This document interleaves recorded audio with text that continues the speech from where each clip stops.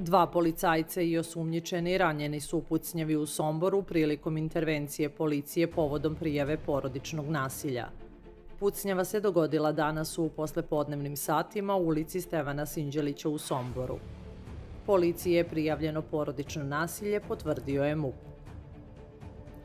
Prilikom intervencije policije došlo je do pucnjave i tom prilikom su ranjena dva policajca kao i počinilac. U saopštenju MUP je kasnije danas obavestio da je pripadnicima policijske uprave u Somboru oko 16 sati i 10 minuta prijavljeno da je u ulici Stevana Sinđelića u ovom gradu došlo do nasilja u porodici i pucnjave iz vatrenog oružja.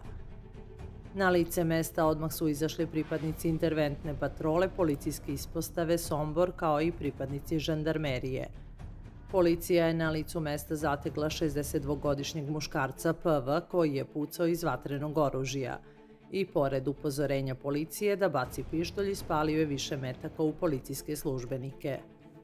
Tom prilikom povrede su zadobila dvojica pripadnika žandarmerije.